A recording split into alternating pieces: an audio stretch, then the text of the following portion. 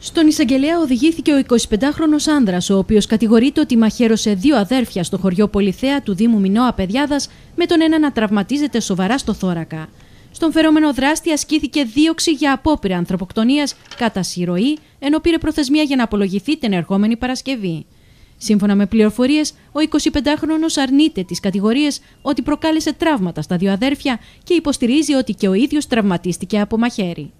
Εκάτσαμε να πούμε ένα πανηγύρι, ήπια η παραπάνω, μια κομπανιά, νάτα και φύγαμε από τα νερά μας.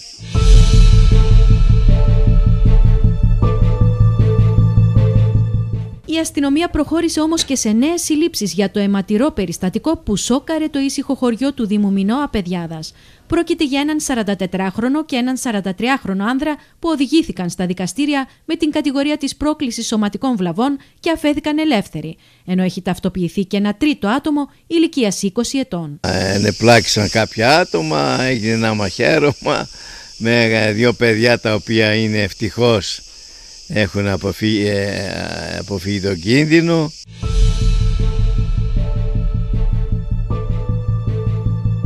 Την ίδια στιγμή κανείς δεν φανταζόταν ότι το γλέντι θα είχε επεισοδιακή κατάληξη με έναν 20χρονο άνδρα στην εντατική. Ο νεαρός δέχτηκε μαχαιριά στο θώρακα. Μια μικρή επέμβαση πραγματοποιήθηκε αρχικά στο Βενιζέλιο νοσοκομείο, ενώ στη συνέχεια κρίθηκε αναγκαία η μεταφορά του στο Παγνί. Ο νεαρός χειρουργήθηκε και μεταφέρθηκε στη μονάδα εντατικής θεραπείας.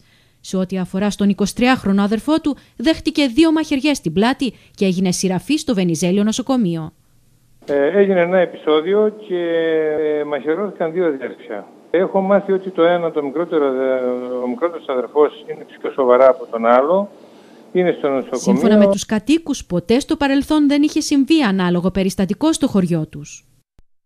Χωρίς παρατράγουδα. Τώρα φέτος τι έγινε δεν ξέρω. Πρώτη φορά έχει γίνει. Ε, νομίζω ότι ό,τι και να ήταν η αιτία δεν πρέπει να φτάνουμε σε αυτά τα φαινόμενα. Είναι άδικο, είναι αμαρτία, είναι μια δυσφήμιση για την περιοχή μας, είναι μια δυσφήμιση για το νησί μας. Έλεος πια πρέπει να αρχίσουμε να σκεφτόμαστε διαφορετικά. Σύσσωμη η τοπική κοινωνία καταδίκασε το αιματηρό περιστατικό που δεν θα πρέπει να επαναληφθεί. Λίγο έλειψε ένα γλέντι να οδηγήσει σε έκρηθμη κατάσταση και από θαύμα δεν υπήρξαν πιο σοβαρές συνέπειες στην υγεία των δύο αδερφών.